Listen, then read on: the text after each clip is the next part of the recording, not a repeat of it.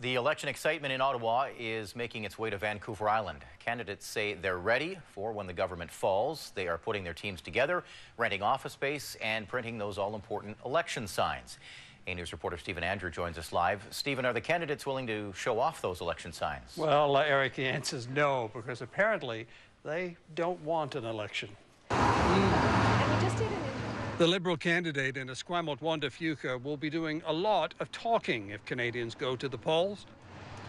Lillian Szpak is hoping to leave her Langford Council seat and follow in Liberal Keith Martin's footsteps as an MP in Ottawa.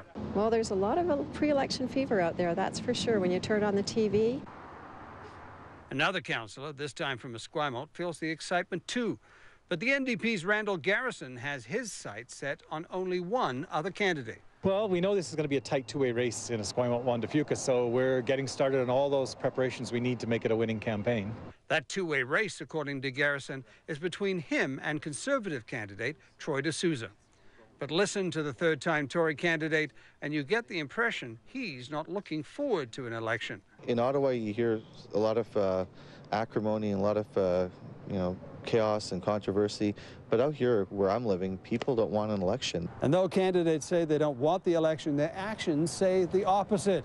Already they have their campaign signs printed or they're on the way, and they're ready at the stroke of a pen to sign the lease on their campaign headquarters.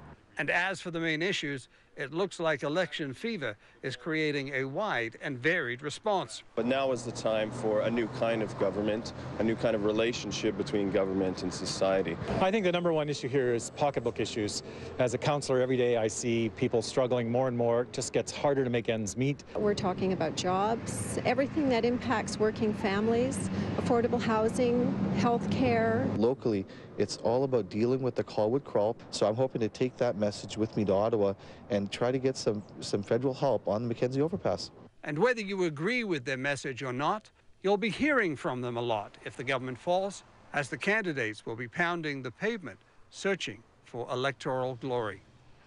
Now, Eric, I sent out a Twitter today asking people if they were ready for an election on Vancouver Island, and these are just three of the comments that we received back. An overwhelming no, sickening feeling about uh, who will win, says one follower on Twitter, while another says, yes, but uh, they're also ready for a provincial election to get rid of the Liberals uh, out of British Columbia. And then there's this. One Twitter uh, follower wrote, I will vote for electoral reform someday. We won't have to vote for the party we dislike the least.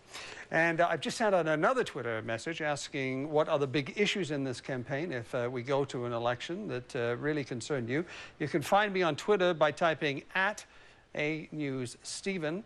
And Eric will have more of those responses uh, coming up a little bit later. What did we do before Twitter, Stephen? Well, we just went to the street and talked to people face to face. All right, thanks. You're welcome. Stephen Andrew reporting.